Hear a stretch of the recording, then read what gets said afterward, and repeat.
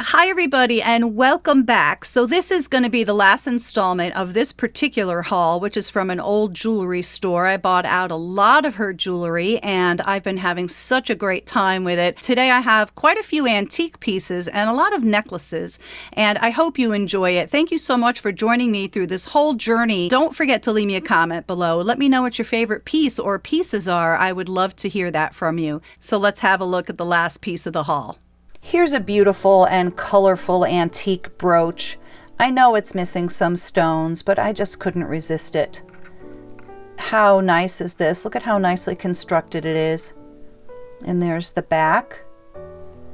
I suppose this nice bright gold tone is the way the front is supposed to look, but it it has a lot of age to it, and I think it's absolutely beautiful. So here's a beautiful old ring. Look at that really nice piece of art glass. I think that might be a little bit of a crack in it, unfortunately. Yeah, I love this ring. So this work on the side right there, it sort of looks like filigree, but that's actually referred to as canotille. You see it's a little bit more raised up than filigree would be. So this looks like silver-plated copper. And I just think this is a, a very beautiful old ring. So this is referred to as a love knot, and this is a very popular thing in jewelry. I actually really love this. It's unfortunately, uh, some of the gold is rubbing off here and there. That does happen with older pieces, but I think this is quite lovely. Isn't that nice? Here's an old Uncas ring. There's the U with the arrow through it. So Uncas started in uh, the early 1910s. They were based in Providence, Rhode Island. This is a nice collectible name brand. This is really a lovely sterling silver band, I think. Really pretty. That's a nice old piece. I believe this pin is from the 1930s and it is beautiful. I love this. I love older pieces. So charming. A little bit of wear to the gold tone here and there. Not too bad. It's old. Somebody clearly enjoyed this one. Very sweet item, I think. So here's a mourning pin that doesn't have any hair in it. I believe that's just the blank in there. I think that's sort of uh, like um, some sort of a textured material, like a felt kind of a thing that would hold the hair in place. This would have been a very beautiful mourning piece, and I really like that it's not completed yet. There's our tube hinge, also called a T-bar hinge, and there's our C-clasp. So that's pretty nice. I'm going to put this with my mourning jewelry collection. Quite lovely. So I believe this is some sort of a Middle Eastern thing. Uh, it's two pins with a chain in between. And uh, this is not real gold. It really does look like real gold. Doesn't it look like 18 karat? And I think it's just plated. Cool. Here's a great MCM pendant. Don't you love this? And it's marked Monet right there on that cartouche. Looks like someone had that engraved with 55. I don't think Monet did that. But I really love this one. Isn't that different? That would look great on a chain, I think. Here's a beautiful blue glass bracelet. Look at this. Wow. That's gorgeous. The stones are in great shape. So you can see some bubbles in there, right? Is that a bubble right there? Yeah. So when you see bubbles like that, that's when you know for sure it's not sapphire or anything. Not that we were thinking that, but just a little tip. It's a really pretty, pretty bracelet. I don't know if that's original to it. I'm not sure about that spring ring. Maybe, maybe not. Still a really beautiful bracelet. That's a great blue. Here's an interesting red, white, and blue necklace. Now, why I think this is very interesting. First of all, these beads are plastic and it's molded plastic. You can see the seams right there. But these other bits here are glass, and it's sort of weird, I think, the way they wrapped the glass around some of these plastic beads. Well, that one's probably glass. Anyway, yeah, I thought this was an odd thing. It's just kind of a weird mixture of glass and plastic. And I didn't see any markings on it. This is a box clasp. Opens like this. I think this is also called tongue and groove. I thought that one was uh, just different. I've never seen anything quite like this before. Well, everybody loves mermaids, right? This is great. She has um, an unusual looking face. That is some nose she's got there, but I still think she's really pretty. This is a really sweet piece. This is sterling. You can probably tell that, right? There's the mark. And these beads, I don't know, are those glass or you think they're turquoise? Not sure. Not old. But I picked this one out because I thought she was really adorable. That's a great item. These earrings are really beautiful. These are nice and old. And that blue is just so vibrant, so nice. These look like they're maybe real silver. I'm not sure. They're the screwbacks. I didn't see any markings on them, but these are just beautiful, I think. I love these. Aren't those great? So I know this ring has a lot of ware, but I couldn't resist it. I can never resist a good flip ring. And if you don't know what a flip ring is, I'm going to show you right now. And this sort of turns and you can wear it the other way. So this is Siam, that's Niello wear. And I think it's really interesting. Somebody just wore this one to death. It's just so, so scratched. And it's real silver. Let's see if we can find the mark. Is that it? Yeah, made in Siam and sterling. There it is. That one's interesting, I think. So how do you like this one? This one's great, right? Very, very lightweight plastic and these all move as you can see. How beautiful are these? Look at the different color stones. I think it's really interesting that they opted to put this orange color with pink and blue, and yet it certainly works. There's what the back looks like. This one is pretty amazing. This one's definitely one of my favorites. I love this one. How about you? Nice early plastic, very brittle. Um, yeah, it's it's amazing to me when I see things like this that didn't break through the years. I'm really lucky that this is all completely intact. That one's really beautiful, I think. So I'm not sure what this says. Is is that supposed to say Romano? Hmm. I don't know. Is that a G and an L? Glaumans? I don't know what this one says, but there's something really pretty inside. These are very lovely amber cufflinks. So I got these, and these are Russian or some sort of Eastern European country. I think that's Russian though. These are very pretty. And uh, they're not real gold. I can't remember what that says now. Let's see if we can get it. Hmm. I know it's not real gold. I think that's just the maker's mark. But these are really uh, beautiful, I think. And these are genuine amber. I tested these. Those were very pretty. And I love when you get stuff in the original box. I mean, I think this is the original box. Cool. Here's a highly collectible name. This is by a company, Jomaz, and Jomaz stands for Joseph Mazer. This is kind of gorgeous, right? And you may notice it's not marked but this is a uh, Joseph Mazer piece. They ran from the 20s till about 1980 or so. They were New York City based. And it is a demi, so I'm going to show you the earrings. Here's the matching earrings. So these are marked, and I think it's always interesting, but that that is something that you see from time to time with demi parures or parures that maybe one piece is marked and the other one isn't. So I'm really happy that I, you know, was able to find these together so I would know that these are Jomaz. Isn't that so pretty? Really great mid-century demi right there. If you've been following any of this series, uh, I did get quite a few rings that are from this same era. Maybe 30s, maybe 40s. Brass or some sort of a brass alloy, most likely. Really pretty. This stone is in really nice shape. Now I have another ring here where the glass is very scratched, unfortunately, but let's take a look at that one. This one. And that's just too bad, but you see the scratches on it? So I did try using toothpaste, and that didn't help me. Oh, is this one marked? Huh. Yeah, that says Czechoslovakia. Okay.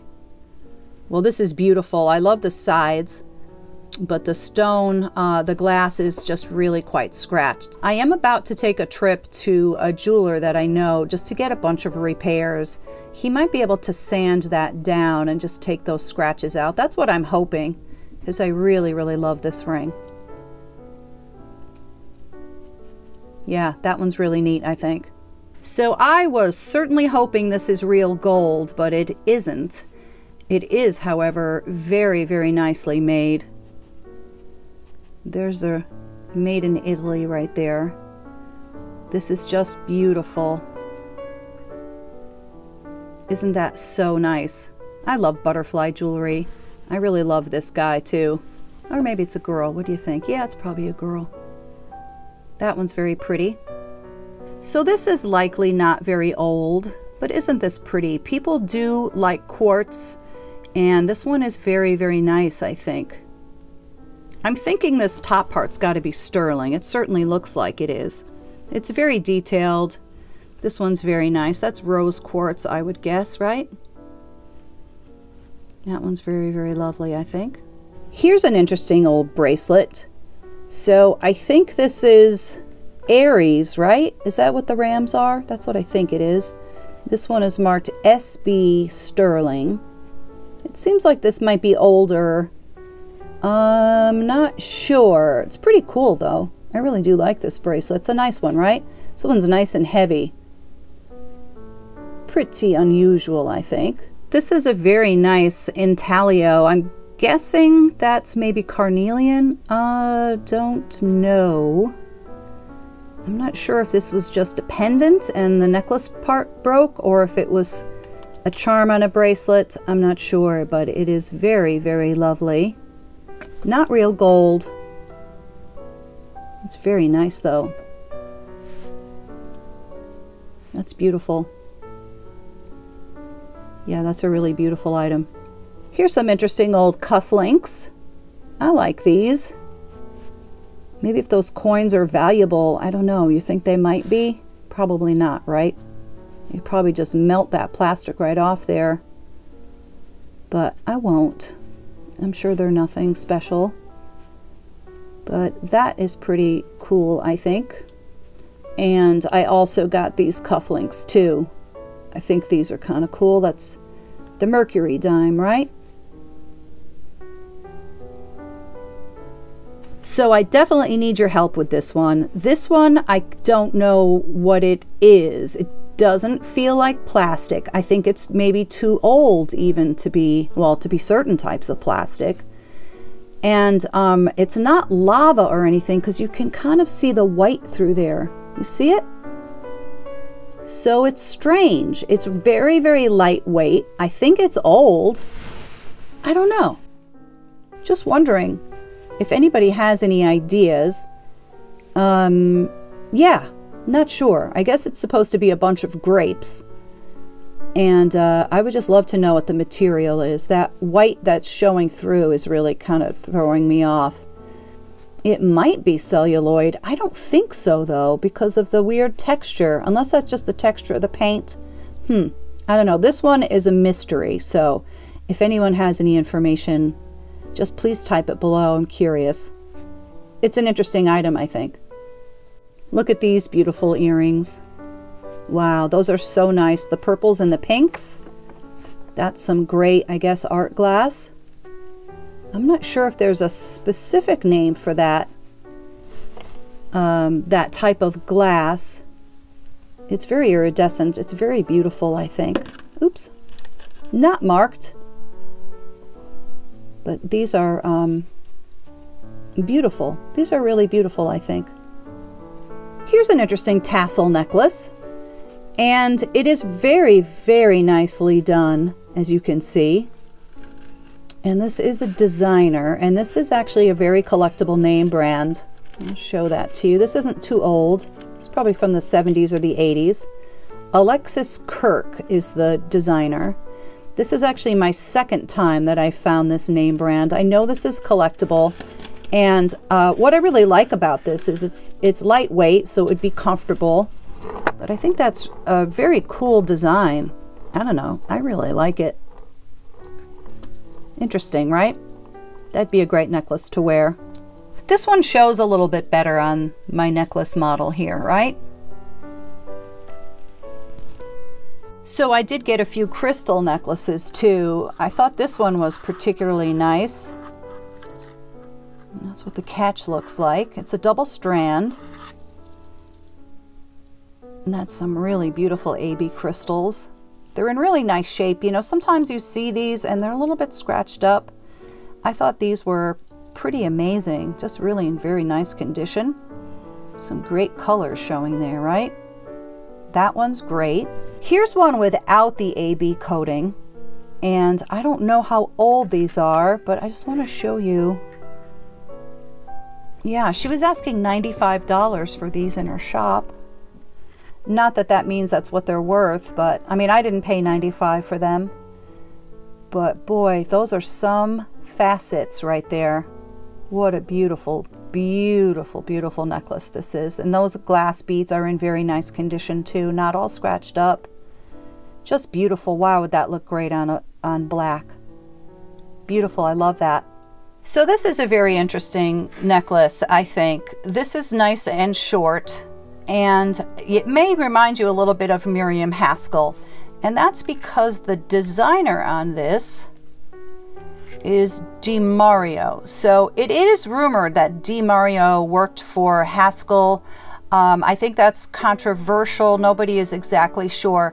What is sure is this company only ran from 45 to 65, and there's a huge collector's market.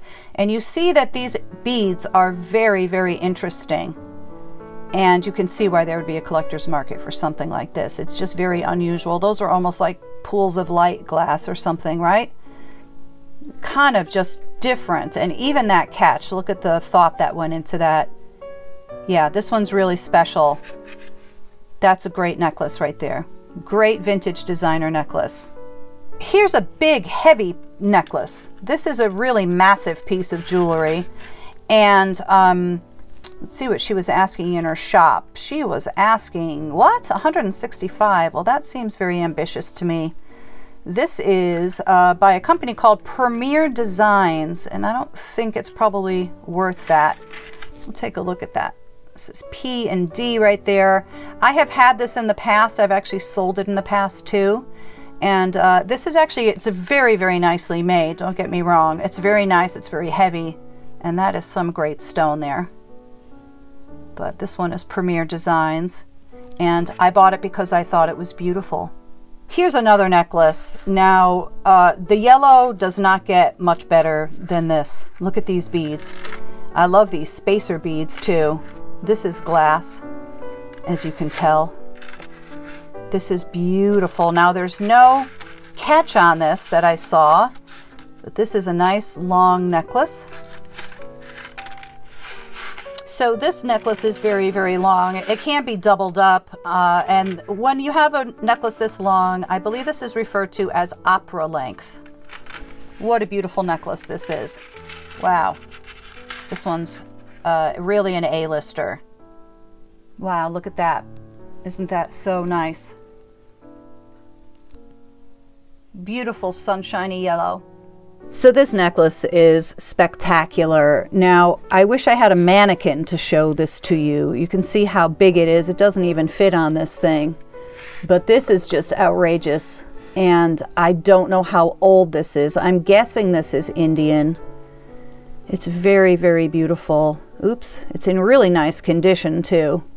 So I really can't wait to wear this. This is just so unusual and um, this isn't real or anything like that, but it has these little bells, right? So this sort of looks like uh, maybe something that was made in India.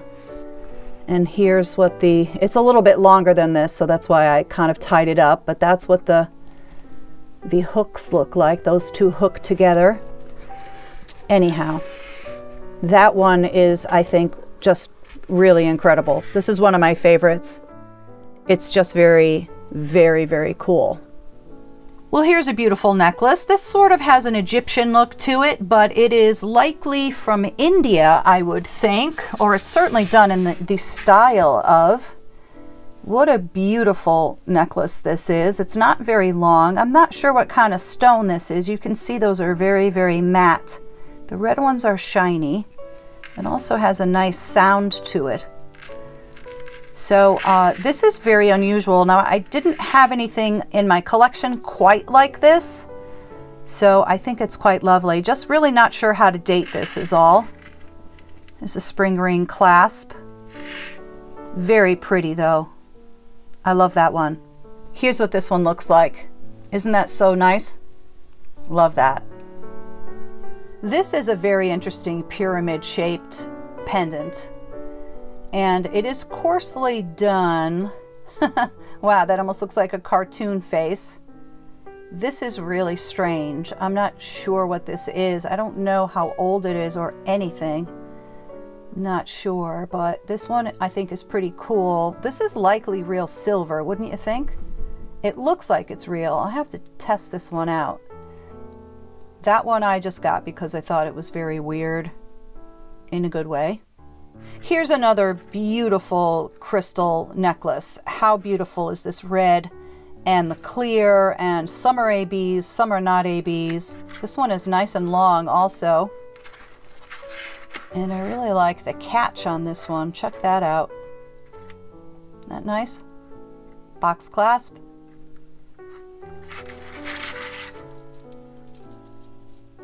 That one is lovely. Wow. Look at the sparkle. Here's the last item for today. This is just an incredibly beautiful necklace. I'm not sure what this link is called. Um, I don't know. Is this called a crinkle link? I'm not exactly sure. But there's the closure. Now this is likely, uh, I guess, like stamped brass. But I think this is pretty incredible. What do you think? This one's really great. Yeah, hopefully you can really see how, how incredibly beautiful this is. So that's it for now. Thanks as always for watching. Please make sure you're subscribed to the channel. Like this video, leave me a comment below with what your favorite piece is, and I hope you will catch me soon. Thanks everybody.